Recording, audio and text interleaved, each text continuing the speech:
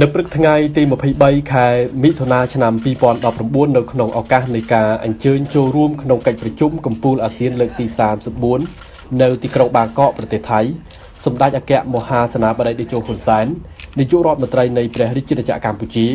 បានអញ្ជើញពិសាអាហារពេលព្រឹកការងាររួមគ្នាជាមួយនឹងឯកឧត្តមវៀនស៊ុនហ្វុកនាយករដ្ឋមន្ត្រីនៃសាធារណរដ្ឋសង្គមនិយមវៀតណាមឯកឧត្តមបណ្ឌិតថងលុនស៊ីស៊ូលីត នាយករដ្ឋមន្ត្រីនៃសាធារណរដ្ឋប្រជាធិបតេយ្យប្រជាមានិតឡាវដើម្បីធ្វើការផ្លាស់ប្តូរទស្សនៈនិងមតិយោបល់មួយចំនួនទាក់ទងទៅនឹងការជំរុញកិច្ចសហប្រតិបត្តិការទ្វេភាគីពហុភាគី បញ្ហាតំបន់និងអន្តរជាតិជាពិសេសទាក់ទិនទៅនឹងការអភិវឌ្ឍនៅក្នុងតំបន់ត្រីកោណនៃប្រទេសទាំង3កម្ពុជាឡាវនិងវៀតណាមដែលមានការអភិវឌ្ឍតិចតួចនៅឡើយនោះ។ ក្នុងជំនួបអាហារការងារពេលព្រឹកនោះផងដែរមេដឹកនាំរដ្ឋាភិបាលនៃប្រទេសទាំង3បានសម្ដែងនៅក្តីរីករាយនិងបានវាយតម្លៃខ្ពស់និងកោតសរសើរចំពោះលទ្ធផលជាវិជ្ជមានដែលក្រុមការងារនៃប្រទេសទាំង3ក្នុងតំបន់អភិវឌ្ឍត្រីកោណនៃប្រទេសទាំង3ដែលពីមួយឆ្នាំទៅមួយឆ្នាំបានចូលរួមចំណែកដល់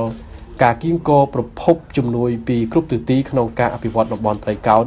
ឲ្យមានការប្រែប្រួលមុខមាត់ថ្មីនិងមានការរីកចម្រើនជាលំដាប់។ ជាពិសេសបានប្រែក្លាយតំបន់មួយដែលមានការខ្វះខាតជីវភាពរស់នៅរបស់ប្រជាពលរដ្ឋមានភាពក្រីក្រឲ្យក្លាយទៅជាតំបន់មួយដែលមានការតភ្ជាប់